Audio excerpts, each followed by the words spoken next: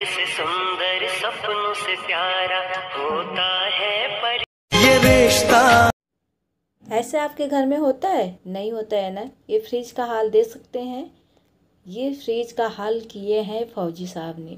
और फ्रिज को इतना कबाड़ हो गया अब कैसे इसको साफ़ किया जाए? और साफ़ तो करेंगे नहीं क्योंकि उनके पास टाइम नहीं होता है करना तो मुझे है। तो चलिए फ्रेंड इसे मैं साफ़ कर लेती हूँ और वीडियो में बने रहिएगा।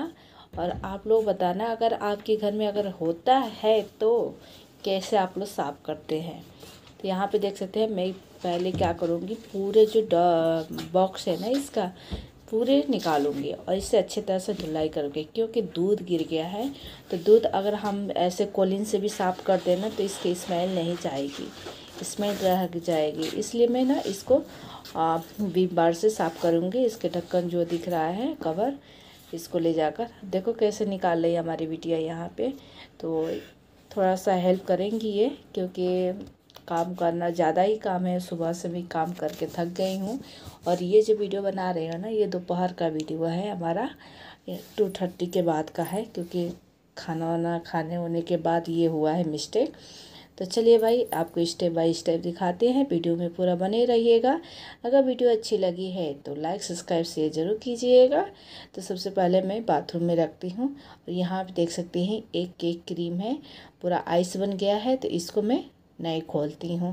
क्योंकि अगर इसको ना डिमोल्ट करेंगे ना तो पूरा क्रीम पिघल के नीचे भी गिर सकता है। तो ये नीचे वाला जो है आइस बॉक्स इसको भी निकाल लेती हूँ और इसको तुरंत लगा लूँगी। क्योंकि अगर नहीं लगाएँगे ना तो पानी नीचे टपकेगा तो पूरा ज़्यादा गीला गीला हो जाएगा। तो इसको पहले धुलाई करके और इसे लगा देते हैं ठीक में तो लीजिए भाई, यहाँ पे मैं इसको फिट कर देती हूँ। और इधर देख सकते हैं, फ्रिज का जो सामान था ना, सारा कुछ निकाल दिया है। इसलिए ज़्यादा कबाड़े जैसा दिख रहा है। बट अभी मैं पूरा क्लीन करके आप लोग को दिखाऊँगी। और देखिएगा कितना मेहनत लगता है ये सब करने में। और मुझे कितना मतलब ओवर ये काम हो जाता है। क्योंकि ये सब मैं सुबह करके रख चुके थे। तो यहाँ पे लिया है कोलिंग। और कोलिंग से पहले अंदर का स्प्रे करें, क्योंकि ये साबुन से तो धो नहीं सकते हैं। तो इसे मैं साफ़ करूँगी। और जो डब्बे हैं ना, ये शीशे से जो दिख रहा है, इसको मैं क्या करूँगी? साबुन से धुलाई करूँगी। यानी बिन बार से धुलाई करूँगी। तो देख सकते हैं, यहाँ पर मैं क्लीन कर लेती हूँ।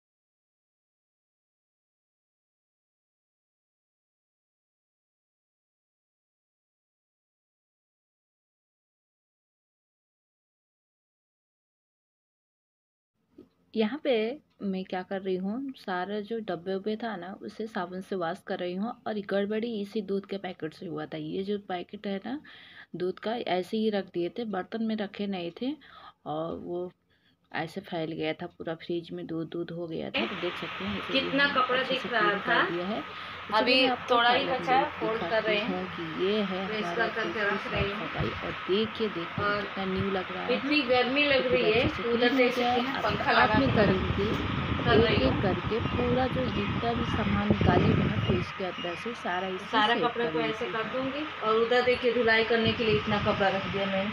अभी जा रही हूँ उसको धुलाई करने के लिए।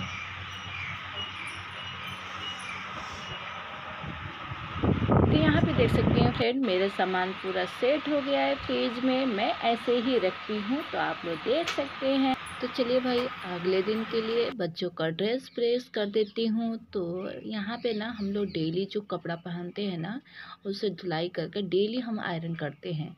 या तो मैं करूँगी, या तो फौजी साहब करेंगे, लेकिन होता डेली है। अक्सर तो आयरन का काम फौजी साहब ही करते हैं, क्योंकि मुझे आयरन करना उतना पसंद नहीं आता है। लेकिन इमरजेंसी में जब मतलब ये इनकी टाइम नहीं होती या ड्यूटी रहता है, तभी मैं करती हूँ।